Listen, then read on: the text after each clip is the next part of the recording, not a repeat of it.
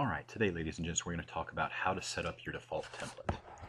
And uh, this is something that uh, I do constantly because I like to have my default template uh, have certain things set up. And I'm going to go ahead and remove a couple of things from this open uh, uh, just blank page right here and uh, show you how I do this.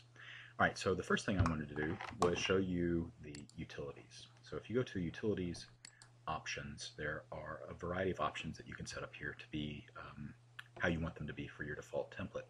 Uh, starting on the General tab, um, this uh, uh, this information here for uh, angle constraint. So when you're constraining the angle when you're turning something uh, or using the uh, um, the the various line tools, this is um, the number of degrees that you can set up for your angle constraint.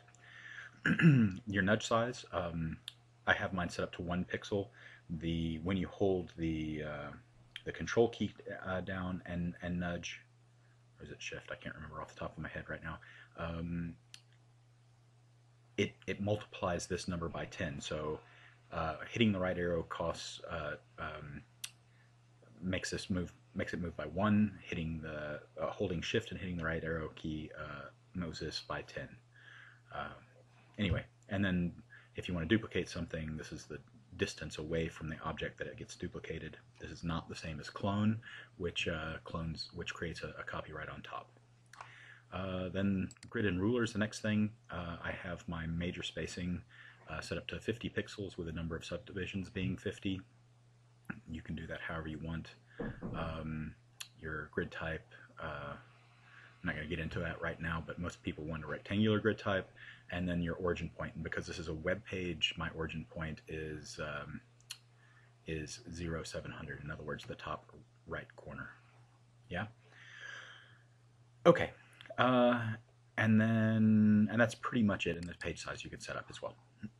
and that's most of what I set up here. Oh, I also set up my units. Um, before I forget that, the, the number of pixels and uh, for, excuse me, pixels for my default page units and pixels for my default font units. Anyway, so once I have that set up like I want it, uh, the other thing I always want to, to be there is my ruler. So Control L toggles the ruler on and off. That's what I'm doing right now.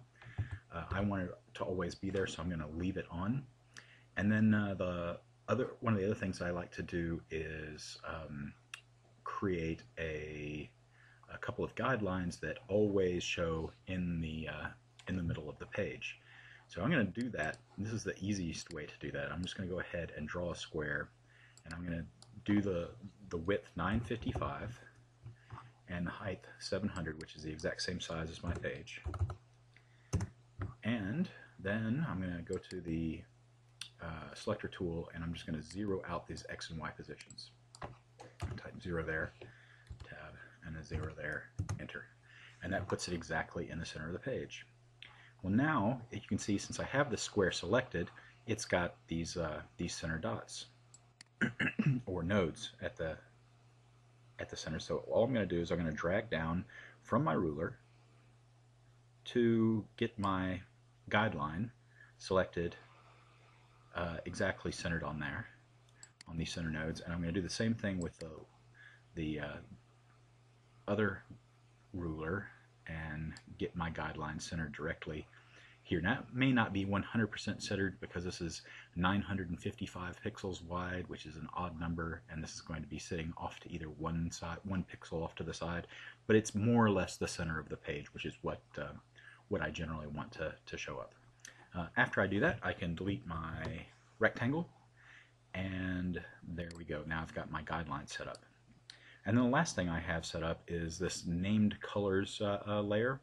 Um, basically, you just go here and press new layer and name it something you that, that makes sense to you. I named mine named colors, so I'm going to go ahead and delete this layer for now. Uh, but I just wanted to show you how you do it real quick. Um, and on this named colors layer, I have my named colors. Uh, you can create named colors, like this one, for example. I don't have them selectable. Hold on.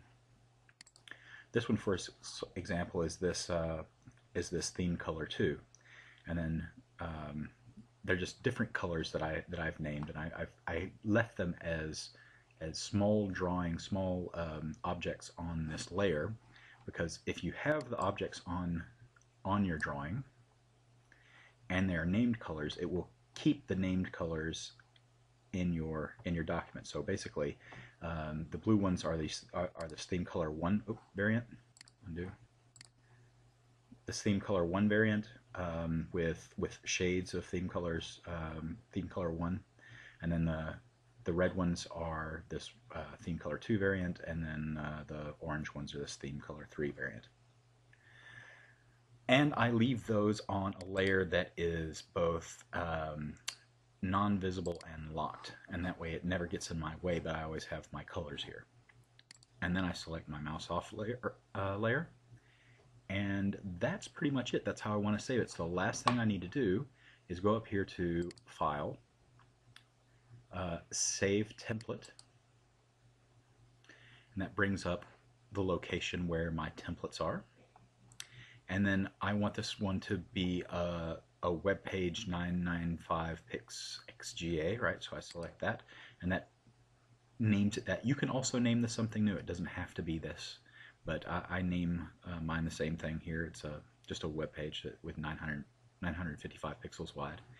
And if I click on this uh, check mark here, let me slide it over, click on that, use as default template, that is going to make that the default template every time I press the new button up here, new document button. And then you just press save. I'm not going to do that right now because I don't want to mess up anything in case I have messed up something. Uh, but that's how you do it. Um, and you just say File, New, and the Control N is this web page 995 pix uh, XGA, right? Control N is that. Or I can hit this and basically I just get a new page. Any second now when it pops up. There it is Untitled 15 now. Is this page and it's got my guidelines on it. It's got my named colors at the bottom it's got the pixel setup that I want. It's got uh, the ruler on like I like it. Anyway, this is how I set up my uh, um, my default uh, template. You can set up yours any way that you like, uh, but I hope you found the, the method for doing so uh, informative and useful, and you'll come back and see us again next time.